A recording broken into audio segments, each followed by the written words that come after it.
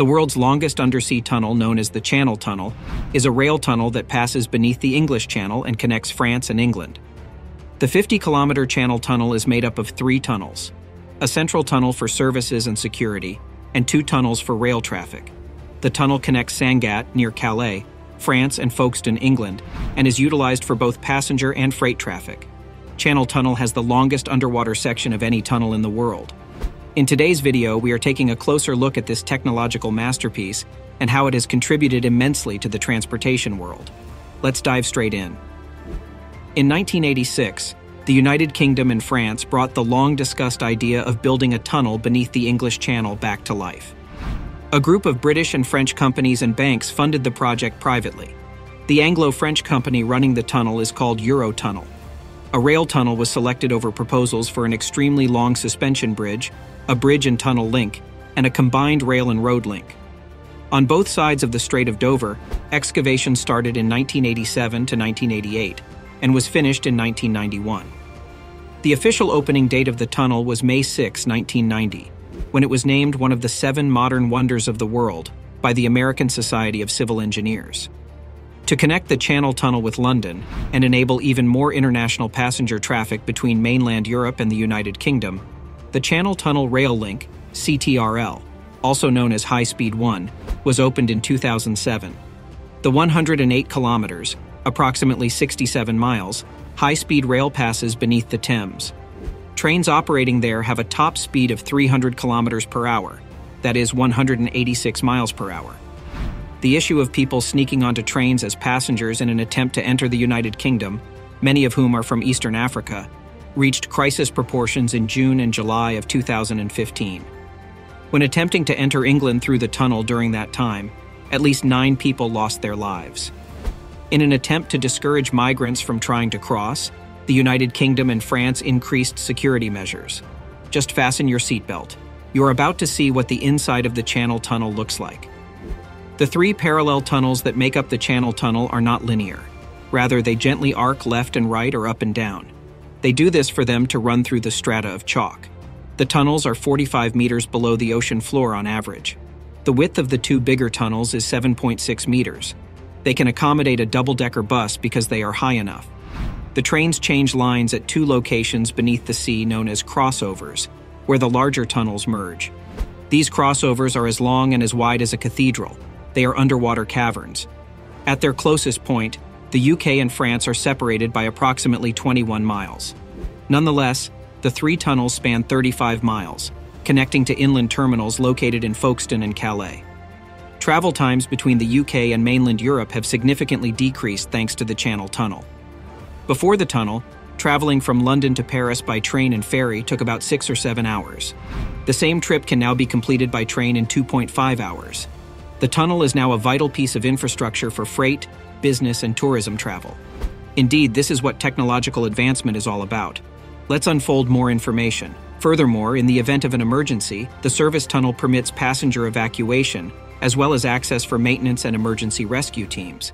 It provides access to the infrastructure's ventilation system as well. For maximum safety, it is thus maintained in an air overpressure state and is shielded from fumes in the event of a fire in one of the railroad tunnels. Vehicles drive on the left in the service tunnel, where a special transport system was designed for them.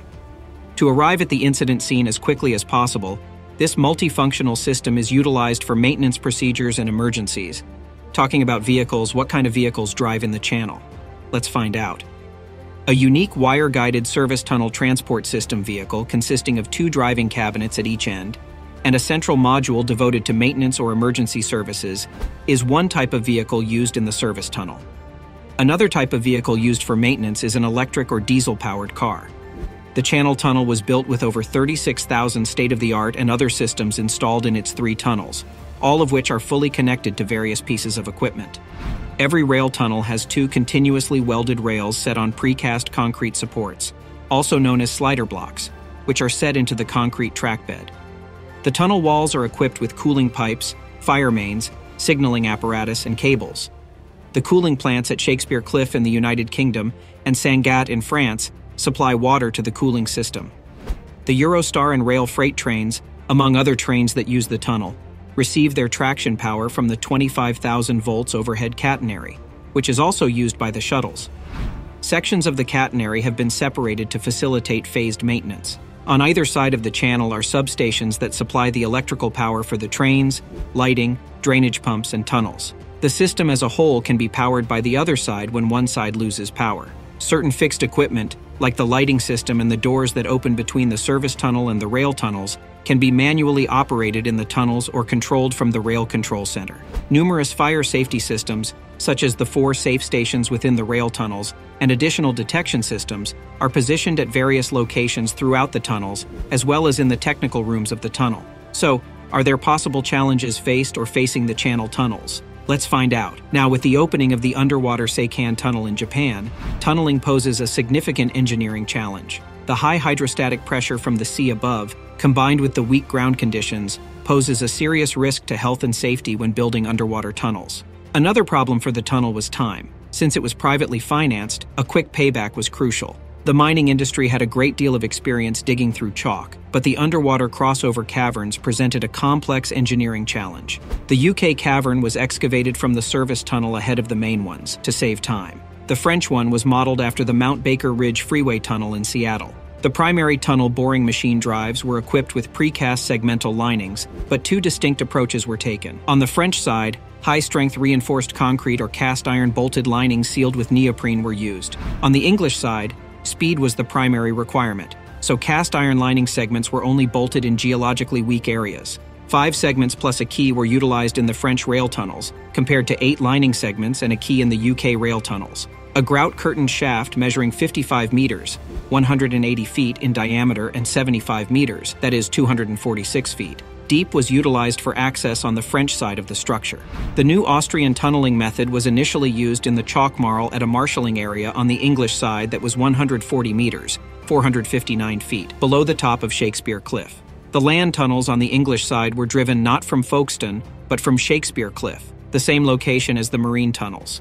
The platform at the foot of the cliff was too small for all the drives, and tunnel spoil was positioned behind a reinforced concrete seawall, despite environmental protests, as long as the chalk was placed in a contained lagoon to prevent chalk fines from spreading widely. The Foster Yeoman Coastal Superquarry at Glensanda in Loch Linnhe on Scotland's west coast provided the Scottish granite aggregate used by the precast lining factory, which was located on the Isle of Grain in the Thames estuary due to space constraints. The French side used earth pressure balance tunnel boring machines with both open and closed modes because of their higher water permeability. The first five kilometers, three miles of the TBM's operation were closed, but after that, they bore through the chalk marl strata as open machines. By doing this, the impact on the ground was reduced, high water pressures could be tolerated, and grouting ahead of the tunnel was not necessary. A total of five tunnel boring machines, TBMs, were needed for the French endeavor two primary marine machines, one mainland machine. The short land drives of two kilometers allowed one TBM to complete the first drive, then reverse direction and complete the other, and two service tunnel machines. Faster open-face TBMs were made possible on the English side by the simpler geology. Six different machines were used, three of them were for the land tunnels, and three of them started digging from Shakespeare Cliff. The UK TBMs were driven sharply downward and buried outside the tunnel as the undersea drives were completed. After that, an electrical earth was created using these buried TBMs. Following their completion of the tunnel, the French TBMs were disassembled. On the English side, there was a railway with a gauge of 900 millimeters, which is 35 inches, was used during construction. There have been slight improvements in the overall economy since the tunnel's opening. The Eurotunnel is a profitable transportation option that is not impacted by bad weather. However, the high cost of the building did cause a delay in profitability, and businesses that were involved in the tunnel's early operation and construction had to rely on government assistance to pay off the debt that had accrued. These projects are essential to strengthening regional economies because they increase trade and connectivity, as well as provide more opportunities for tourism and leisure. To ensure the preservation of coastal ecosystems, environmental considerations ought to continue to be the primary focus of these projects. For seamless connectivity and effective transportation systems, upgrading current infrastructure and carefully planning tunnel integration are essential. Feel free to drop us your thoughts in the comment section. Kindly like and subscribe to this channel for more interesting tech updates. Thank you for watching.